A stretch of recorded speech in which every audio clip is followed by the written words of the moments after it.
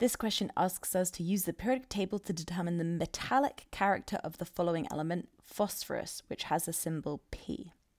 So again, let's go look at our periodic table in the reference sheet. First, let's find phosphorus, which is over here. And the question is, what is its metallic character?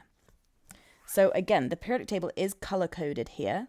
If you look at the bottom, you can see metals are all in those greeny colors and the yellowy orangey colors. Then we have metalloids, which are in that bluey greeny color. And then finally, non-metals are all the bluey colors. So phosphorus is that light blue color.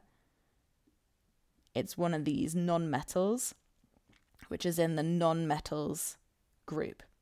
So phosphorus is a non-metal.